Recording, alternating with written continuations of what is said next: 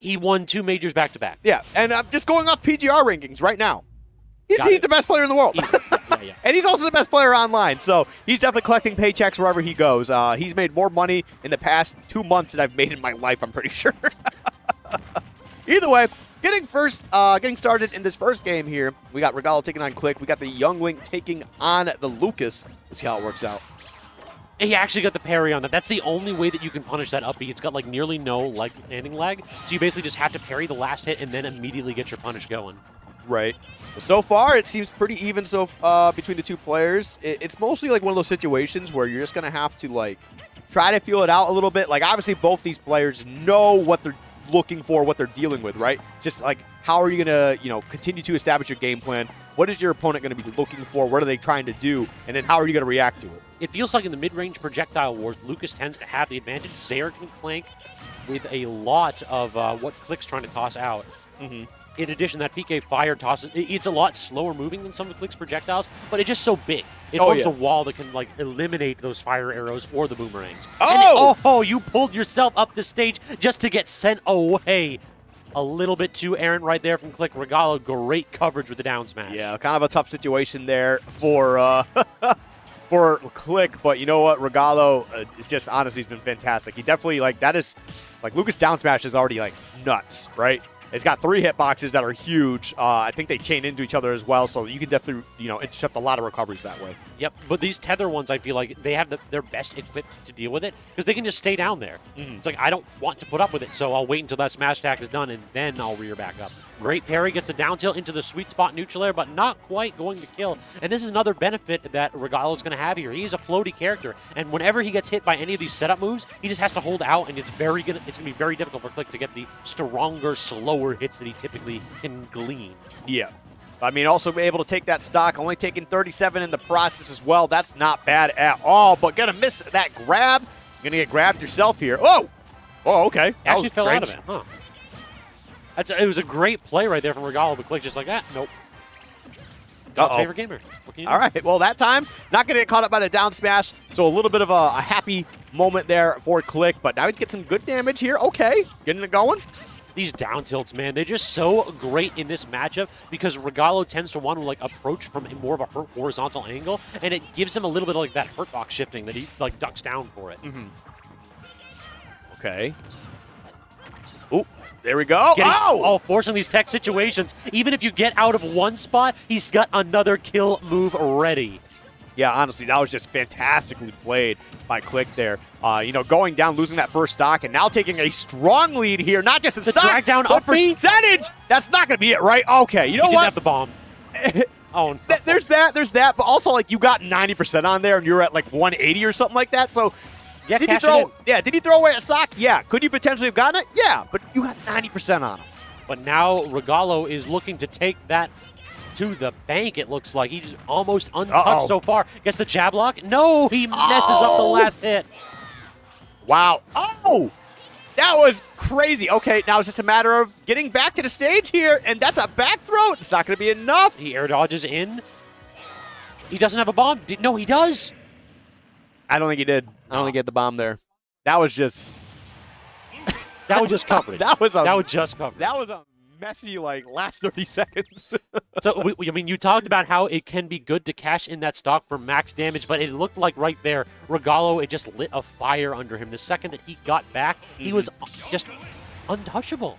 Yeah, no, I like you, you're right on that one, but like it, it, these guys definitely took turns just like absolutely destroying each other, uh, taking the lead and stuff like that, which is what I like to see. I like to see two players trading the lead back and forth, getting some big plays, and that's what these two absolutely did. Uh, we'll have to see if Clique can find a way to be a bit more consistent there. They definitely kind of flubbed it a little bit at the end, but I mean, it's also just Regalo being an amazing player. I mean, we got a little bit of a Regalo's tag, too. It was just chaos at that last stock. And little reason for it is this character's mobility here. Look at the way that Regalo just like dashes and dances around what Clique is trying to toss out. Okay.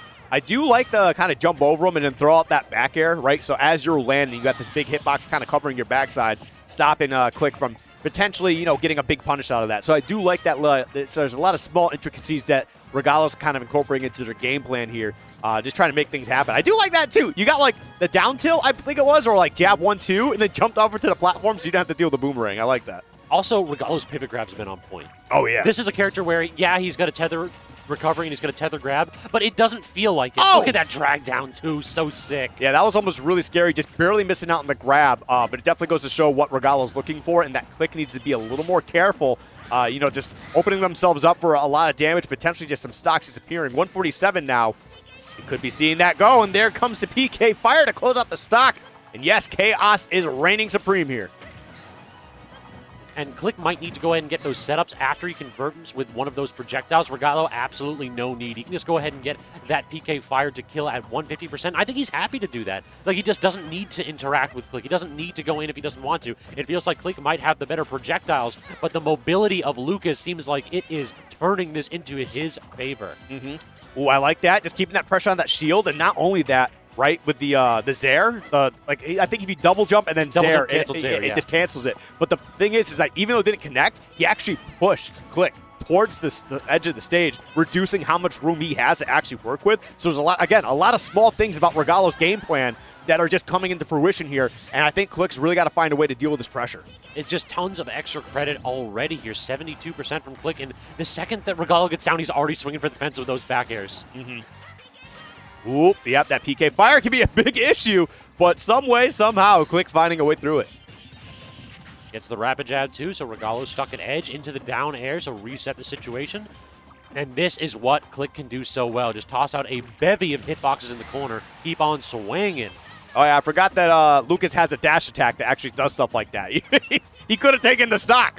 That's how strong yeah, that nearly did. Yeah, that dash attack is super super strong. I mean, granted you can't be punished for it, but the one time he throws it out there, He dead? Yeah, he, he uses double jump into Ah. the PK Thunder. I mean, that says PK Thunder being an, uh, an annoying projectile as it is.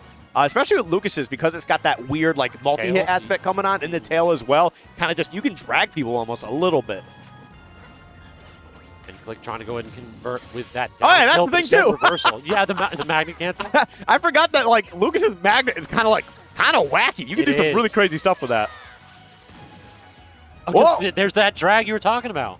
Yep, and it just put him in a really awful, uh, precarious position off stage. We saw that the up smash attempt was coming out. All right. Ooh. Those platforms spell death for Regalo. Clique is so good at covering that with the down air. I don't know what Regalo could have done to live. and I'm spelling seven herbs and spices right now. Jeez. I know. the guy's back here eating some Kentucky Fried Chicken, making me hungry, man. Either way, uh, okay, gonna get that up special. Look at how deep Clique is going here. I mean, I like the attempt though because that could have been huge. Ooh, you know what they could? So they went for that down air, right? Kind of bopped them around the stage a little bit, and then they were hopefully going to be on the other side for that forward tilt. Lucas forward tilt. It's so strong. It's a yeah. monstrosity. I don't know what the hell Sakurai was thinking. All right, Clique force to the corner oh, again, and Clique. How is he going to be able to get back? Just the landing there, and yeah, they, good luck punishing that. Yep, there's that forward air once again. Not going to take the stock. He's got. A, does he have a bomb this time? He does. Ooh, okay, I like the parry on that PK fire. That was huge. Get him out of here! Get him out of here! Yeah, the up throw, getting that, getting that out of here, closing out that stock. But yeah, Regalo going to get up 2-0 here. But listen, we've seen what Clique can do. True, but I, I just situations. I love those DI checks. It's like this man has like three kill throws. So at that point, just like I bet you're not holding this way. Yeah, I mean, it, it's definitely one of those situations. I, I, I like to do that like when I'm playing instant sometimes. Like if I got you at the ledge, right? I know you're going to hold in because you think I'm going to back throw. So instead, I just up throw you and you completely fluff your, uh, you know, fluff, Exactly, fluff your DI and you go straight into the top blast zone. So I I mean, I do the same thing with K. Rool. It's like I know they're gonna mash, but they never expect the back throw to kill. exactly. Oh, I mean, back throw is It's it's Ness back throw. it's, it's silly. That angle I'm going to drag you, and I'm just going to yeah. It- that's a messed up move. Cable's also a character that got uh, some pretty sizable buffs. Yes, we were talking about that earlier when we were eating some hot dogs. Uh, what, what was that? Uh, I think it's like Nathan's famous hot dogs or something I was like, like that. Uncle. It's like Uncle Al's. Uncle Yeah, Al's. Uncle Al's. That place is delicious, is, man. That was sure. good. I went there twice today. I went there for lunch and dinner. I was like, oh, that was a good lunch. Hey, Scabs, uh, you eat A dinner repeat. Yeah, there we go. Anyway, You're just looking for an excuse. You didn't feel shame. Listen, That's what no, it was. I would have done it. If you said no, I would have gone there anyway, right? I got no shame. I, listen, a good hot dog is a good hot dog, and I love cheese fries. I got some good cheese fries True, yep, Shout out to Uncle Al. Let's get into this game three. Uh, we're going to see Regalo could try to close this out with a, just a strong 3 I mean, it wouldn't necessarily be a strong 3 because it was, it's been a competitive set the entire way through. It has, but it feels just like Regalo's got that extra sauce. Yeah, he does have a little bit extra going on here. Every time Clique takes two steps forward, Regalo's taking three. Trying to go ahead and connect with the back air to get those tech situations. And look at the lingering PK fire. What? It's set up for all of that. And then you just, I never understand how you get hit by that hitbox. I don't know. This game is just is something, man. You're dead for that. Yep. Like, what do you actually do? It feels like if Clique does not have a bomb when he goes low, he's just instantly dead because of that PK Thunder. Yeah, he does have that benefit of having that bomb that can explode, you know, in a fairly quick interval to be able to, you know, kind of get that double recovery. But, but man, this is looking rough, man. Regalo just continues to just adapt super, super well. We saw him do this earlier against Peanut too. So I mean, it's like every again every time Clique takes a couple steps forward, Regalo's like, "Oh, cool, you're gonna do that now? Well, I got across this." the stage. Yeah, Look there at you that go. with his double This- jump canceled Zairs. This airplane. I mean, the crowd is still on Clique's side. Hit him with that Jimmy Neutron brain, brain blast.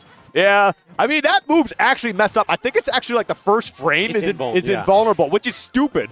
Uh, it's like it's kind of a it's it's a, it's a you know kind of a read, toss up. but Yeah, but it's wrong. Oh, yeah. Oh my God! Oh, that's so unfortunate. Step on him. Step on him. Grab him. Toss him off stage. Oh my goodness. Oh no. sometimes feels like nothing's going your way, and Clique perhaps a bit frustrated after that one. oh my God. Oh What a reversal! Regalo. Jeez. This is what I'm talking about. Good, good Lucas players are saucy as hell. They do some of the coolest stuff, which is why I want this character to be consistent, right? But it's just all the lame Lucas players that just make me hate this character so much. Just Wi-Fi with bad connection and PK fire. Yep. That is my per- own personal hell. Uh, shout outs to WebJP, man. I wish he still played Lucas. I get why he doesn't anymore, but man, he had a sick Lucas Yeah, too. yeah, yeah, I remember that, man. Chase him off stage, trying to go ahead and connect with the boomerang. That would have spelled death, but barely trading right there with that hitbox with the up air. Yeah, you talk about a brain blast using the whole noggin on the up air, closing out that stock. Fantastic stuff from Regalo. Two socks to one. That's all going to be a big punish there. Yep, gets a couple. Nothing else though. Oh, oh, oh. Double up air into the forward air, and now And trap situation. And look at just the safe pressure here, just tapping his shield, daring him to hit a button. Chase him off stage, has to use the air dodge, has to go low, and Regalo actually finds himself in an awkward spot. Yeah, and I forget that Lucas and Ness have a double or a third jump in the form of their air dodge, being able to go quite the Oh, distance for there. sure, yeah. It's actually kind of insane. okay, Regalo is BMing at the moment. You saw him just crouching there for a hot minute. Yep. He's taking a knee, recognizing that his opponent, it might be very well injured here. Uh, being down a whole stock like this, 100%. You can see Regalo's definitely kind of messing around here a little bit. But listen, if you mess around too much, you might just find out. He is whiffing a few punishes that could have had the game. Instead, he gets the down tilt into the forward tilt, gets him off stage. How did they not connect? Did he air dodge? I don't know if he air dodged fast enough there. He's swinging with all he's worth, and finally, again, just a grab into the up throw. Check that man's DI, and then show him the door. Yep, man. Regalo, honestly, as the games went on, he just continued to build on this lead further and further. Fan-